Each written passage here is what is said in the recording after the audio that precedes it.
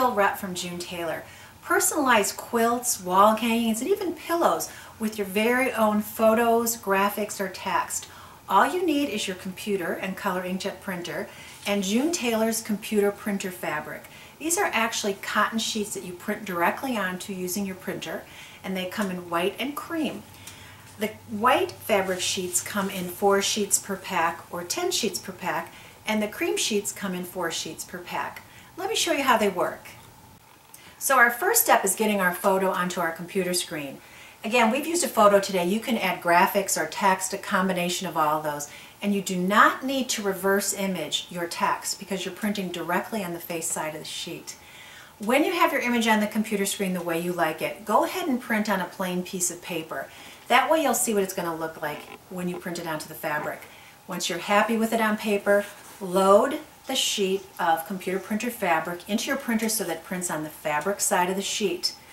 After it's done printing, and here's my photo all printed out, let it dry for about 10 minutes. And after 10 minutes, we're going to remove the paper backing. So turn it over and you're just going to notice a crack and peel where there's an, an actual slit in the back side of the fabric sheet. And lay it down flat and simply remove this paper liner. Just like that. It's super simple and easy to do. Go to the other side, grab the corner, and peel off the back as well. Once we're done with that, we're going to go ahead and we're going to press. You want to be using high heat and a dry iron, no steam, because the ink in inkjet printers is water soluble, so it will disperse the ink if your fabric comes in touch with water.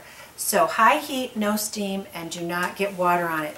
If you do want to use a product that, if you have a project where you're definitely going to touch it to water or you're going to wash it. June Tailor has many options of color fast and washable fabric sheets in our line that you can opt for.